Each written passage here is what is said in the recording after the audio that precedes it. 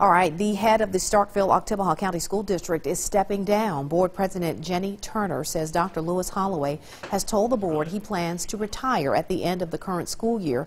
Turner says the early notice will give the board ample time to look for his replacement.